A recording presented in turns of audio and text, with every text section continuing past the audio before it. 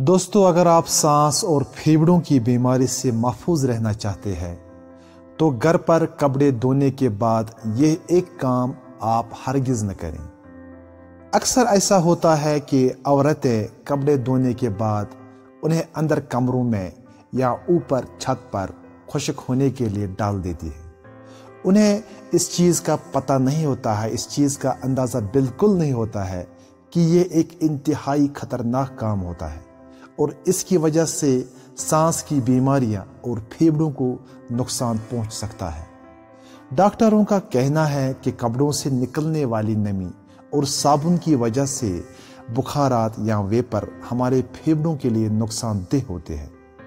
डॉक्टरों का कहना है कि कपड़ों की वजह से नमी का तनासब 30 परसेंट से ज़्यादा हो जाता है और कपड़ों की नमी जो कि सांस के लिए अच्छी नहीं होती है हमें सांस की तकलीफ़ में मुबतला कर देती है। जितनी ज़्यादा नमी होगी, उतना ही फंगस होने का इम्कान बढ़ जाएगा।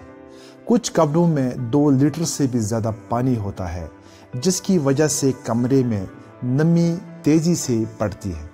कुछ लोगों के लिए शायद ये एक संगीन मसला न हो, लेकिन जो लोग पहले ही दम में या किसी और मोजी बीमारी का शिकार हों, उन्हें इससे काफ़ी मुश्किल पैदा हो सकते हैं। ताहम नॉर्मल लोगों के लिए बेहतर है कि वो एहतियात से काम लें।